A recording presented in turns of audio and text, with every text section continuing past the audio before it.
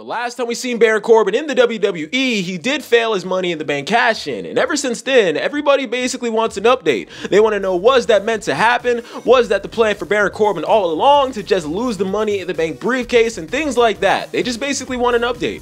So right now, it actually does turn out that what happened on SmackDown Live with Baron Corbin and the failed Money in the Bank cash in wasn't the plan all along. Apparently, WWE did actually lose faith in Baron Corbin, because Baron Corbin has been pretty wild on Twitter lately. I mean, on Twitter, Baron Corbin did block a couple of WWE superstars for no valid reason. He made a couple of comments about Dave Meltzer. He told Mojo Rawley to die. Basically, all of these comments basically made WWE lose faith in Baron Corbin.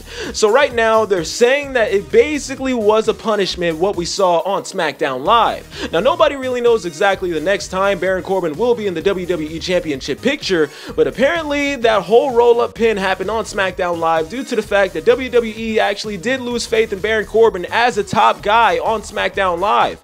Now, don't get me wrong, I was definitely upset because this was a wasted opportunity. This was wasted time. I really wanted WWE to at least wait a couple of weeks until they pulled the trigger that they don't like Baron Corbin anymore. But right now, the only thing that we know about the failed Money in the Bank cash in is that WWE made it happen because apparently they actually did lose faith in Baron Corbin. So nobody really knows exactly where Baron Corbin is going to be on SmackDown Live after SummerSlam, so we basically need to see because this basically switches everything up. So once more information actually does come out about Baron Corbin and his position on SmackDown Live, I will drop an update video on this channel so you guys can stay up to date. But right now, that's pretty much all I really have for you guys in this video, but thank you for watching it. Be sure to like, definitely subscribe for more WWE videos every single day. But anyways, guys, I'll be talking to you later. Peace.